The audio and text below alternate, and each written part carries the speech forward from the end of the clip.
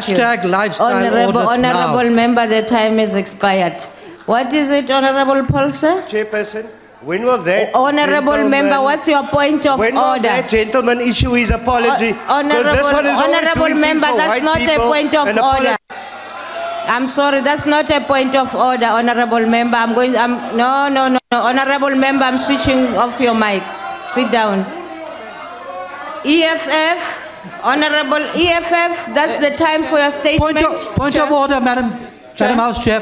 Chairperson, I. Point of order. Chair, I came Honourable- first. I came first. He must sit down. He Is must that relax. a point of order, Yes. honorable member? What's your point of order? I just want to check if he's parliamentary, a person who always apologize, like this man who was just apologizing to the Honorable CIC member, to no, come and that's not a here. point of order. This Thank you. apologistic. I'm awaiting a point of order from the EF, uh, I mean a, a statement now from the EFF.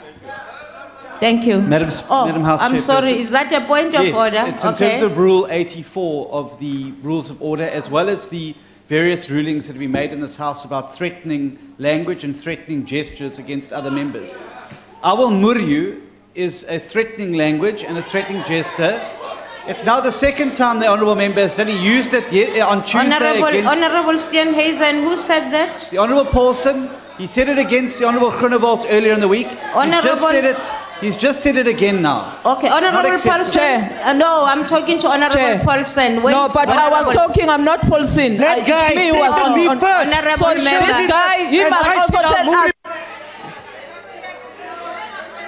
Honorable Paulsen, come back to the mic, Honorable Paulsen. I must address Honorable Paulsen. Honorable Paulsen, did you say that? He- No, he showed me a Hon- gesture first.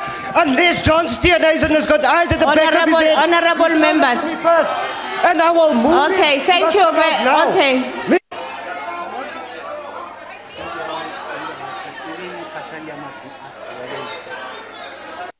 Honorable Kachalia, did you show Honorable Paulsen a fist?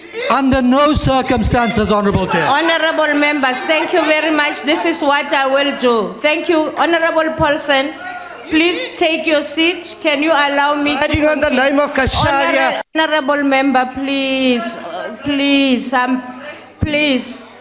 Uh, honorable members, we will investigate this matter thoroughly because things are done without us listening. Is that a point of order, Honorable Mulder?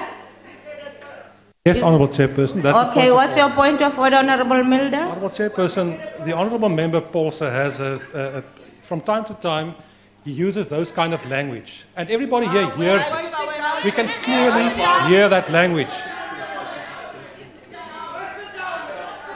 Honorable uh, Mulder, Madam Chairperson, the Honourable Member uses that kind of language from time Honorable, to time. uh, Order, Chair, we Honorable have ruled on this matter. Honorable must just relax and I sit down. just We ruled still that- want our land from this. Wait, wait, Honorable Mkhaliphi. let me talk. Honorable Melda, we are talking about a, a specific incident that happened now. Yes, I refer Please to that. don't refer to others, Good. please. I'll refer, to, I'll refer to the incident now.